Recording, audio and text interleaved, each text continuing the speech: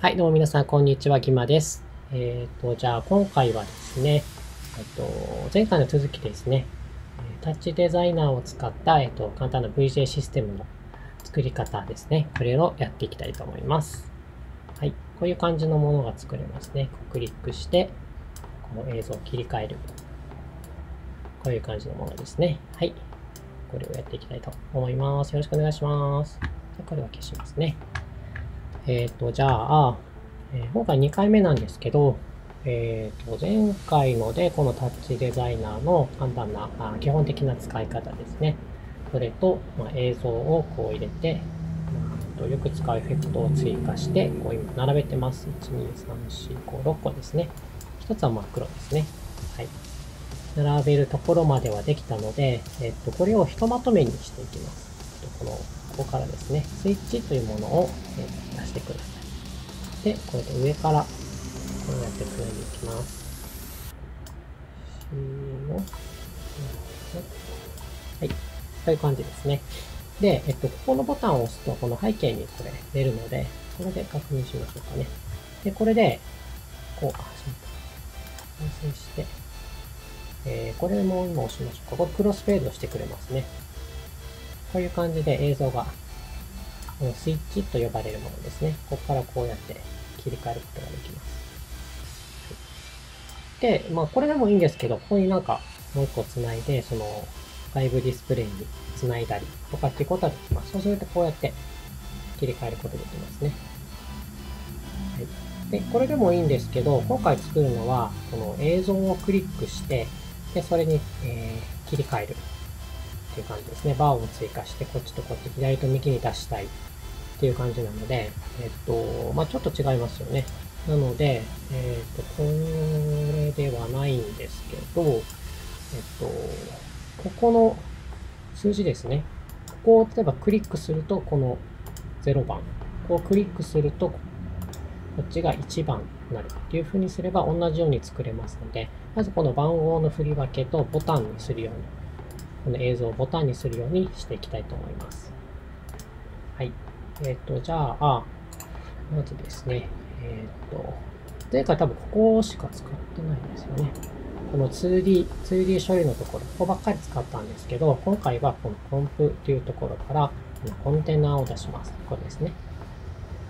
で、えっと、これダブルクリックするか、このくるくる、マウスのこのくるくるでこう中に入っていくと、こうやって入ることできます。で、反対に回せばこうやって元の画面に戻ります。タッチデザイナー開くとも最初からこういう画面なんですけど、これも実は一つのこのプロジェクトっていうものに入ってますね。で、まあ、この中に入って。最初からこのこの画面で作業しています。まあ、それをもう一個作ったような感じですね。もう一回数作ったイメージでいいと思います。はい。で、えっ、と、これを作ったら、えっ、と、ボタンを追加しましょうかね。この中、中入ってもらって、この中にボタンを追加します。ボタンもここにありますね。えーで、ボタン。はい。これをちっちゃいね。はい。で、えっとですね、このボタンも、えーダブルクリックしたりすると中に入れるんですけど、これ中入らなくていいです。このままで、え使います。で、こうクリックするとですね、こうボタンとして機能します。どういうことかというとですね、一つ、エレカマーチ、これをつなげてください。そうすると、あ、しまった。またダブルクリックしちゃった。こうクリックしてからですね。こうクリックしてからクリックすると、こうやって1番。っていう風に、この信号が一つ出てますね。で、このタイプがここで選べます。で、えっと、これは黒なので、私は、オーメンタリーっていうやつ、これかな。ちょっと待ってくださいね。えーと、確かこれで合ってたと思うんだけど。いいかなこの中かなあった。あ、そうですね。最初これにしてください。何て読むのかな？モーメンタリーっていうんですかね。一瞬だけこう、信号が行くやつですね。で、またすぐ戻ります。はい。で、えっと、これにすると、えーまあ、1番、えー0と1いってるんですけど、えっと、最初の画面に戻ってください。そうすると、ここに今一つ追加されてます。これですね。で、これを、えっと、変えます。こっちに変えます。まずこの一番上ですね。黒。真っ黒に変えたいので、ここから、この二分割選んでください。最初これになっているんで、これですね。で、一つはこの黒のこのオペレーターの場所。でもう一個はこの中に入って、このボタン。でなここに、えー、数値出てなければ P を押してこれ出してくださいね。で、ボタンをクリックして、この見た目をこれになっているので、これに変えます。ですね。はい。そうすると、こう、この画面に変わりました。これでもボタンとしての機能がちゃんとついてますね。だ見た目だけがこの形に変わってます。はい。これで OK ですね。で、えっと、コピーして、これ2つ出したままの方が多分いいですね。ここだけしかついてない。追加して、で、えっと、あ、そっか、ごめんなさい。その前に消しましょうね。これ、えー、っと、どうしようかな。か。えっと、これ、ちっちゃ、黒になってちょっと見えないと思うんですけど、ここれぐらいしかなかったですよね。一個一個ちっちゃかったので、サイズを少し大きくします。ここで大きくできますので、200とか100とかいいかな。このサイズはどれぐらいでもいいです。もっと大きくてもいいですし、200、100で今回はいきたいと思います。ボタンタイプはこれですね。で、えこれをコピーして、え1個追加します。で、えっと、2番目は、この映像、これですね。で、これをします。はい。で、映像になりましたね。再生するとこっちも動きます。で、えっと、ここはタイプをこのアップついている方にしてください。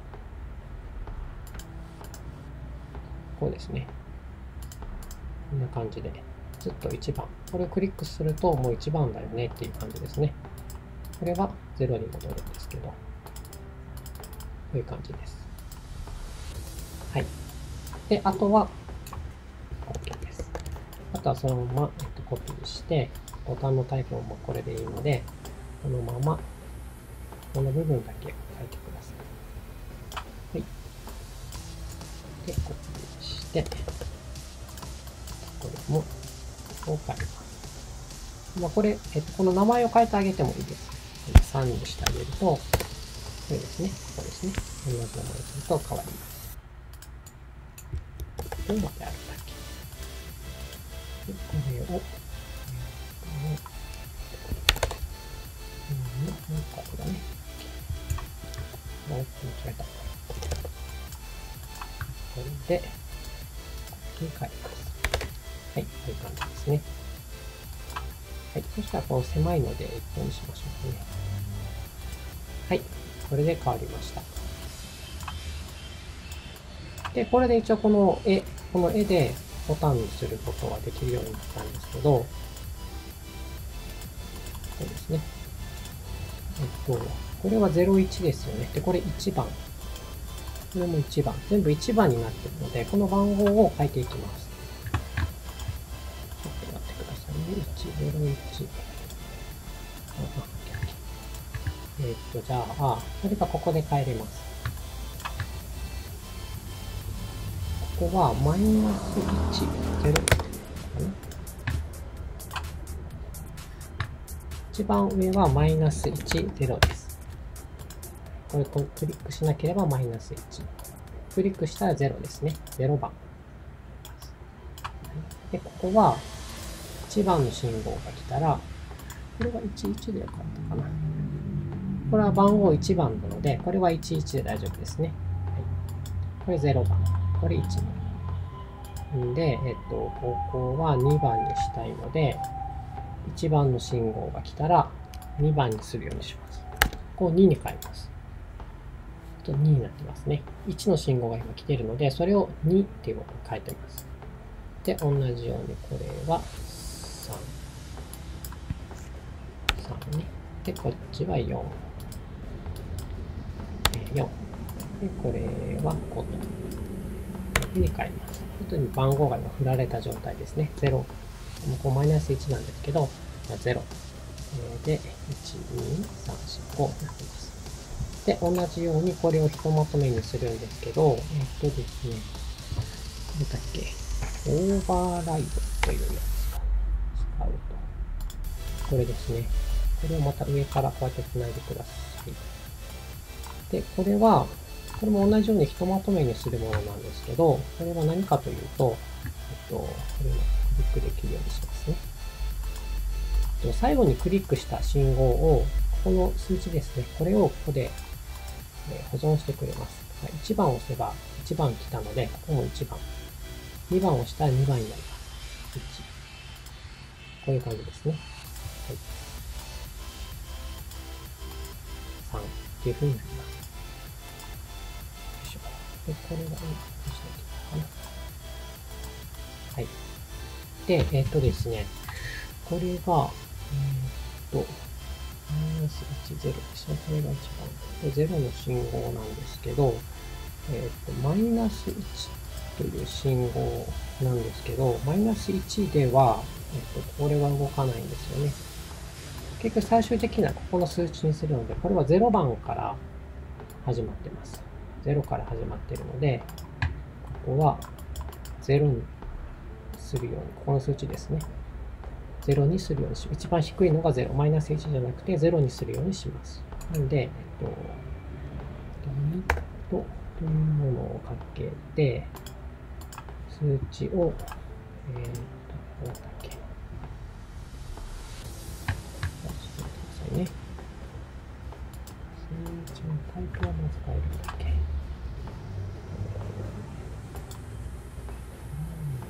これか。これを0。0。で、えー、まあ、ここは大きい数字で何でもいいんですけど、えー、このま5番、5ですね。そうすると0はなくなります。あ、すみません。マイナス1は0になりますね。はい。で、えっと、1番がいけば、ここが1番になり今度ここも1番になります。で、これ2番ですね。0。マイナス1と0は0。で、これを、えっと、まあ、これ繋がなくても、ここが0になればいいんですけど、00ってすると、こ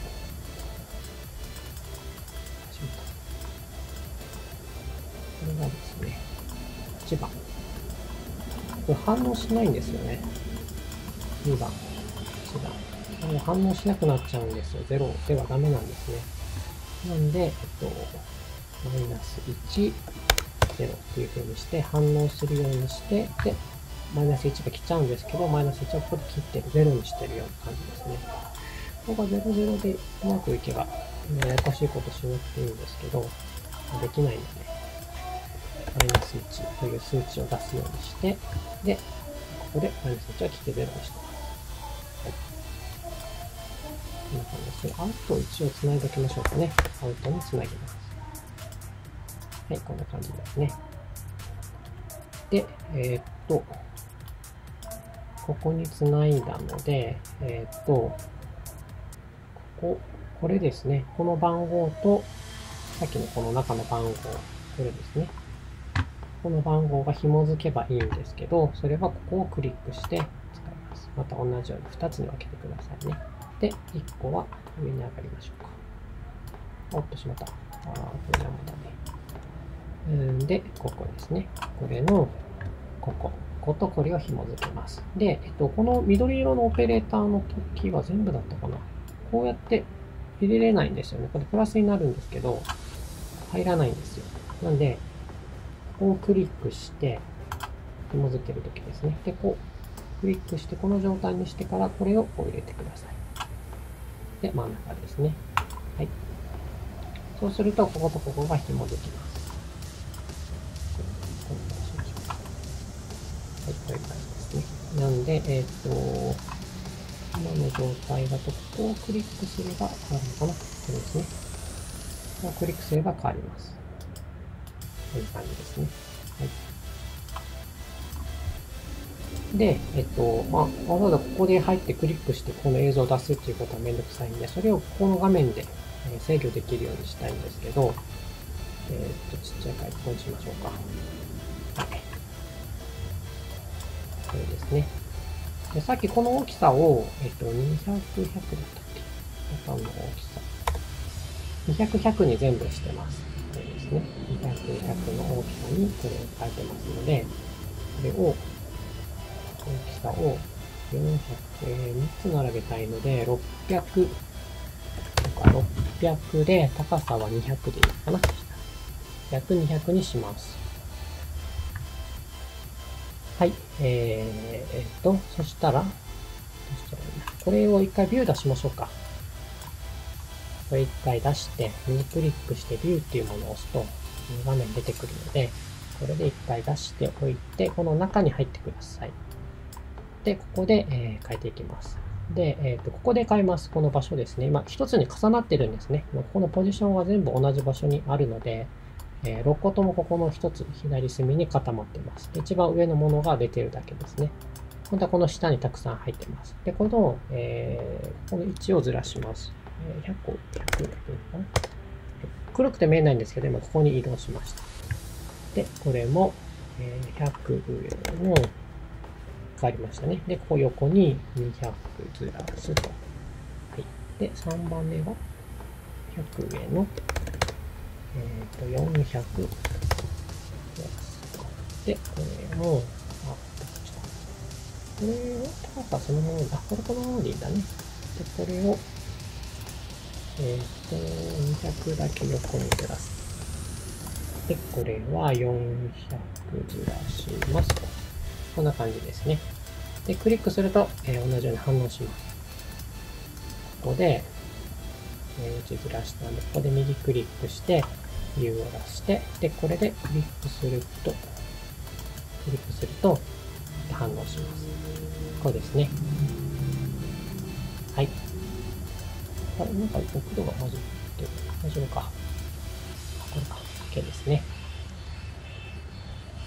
はい、こんな感じで OK です。で、えっと、次は、今回これにしようかな。次はこのスライドのバーですね。作って左と右と振り分けるところまでやっていきたいと思います。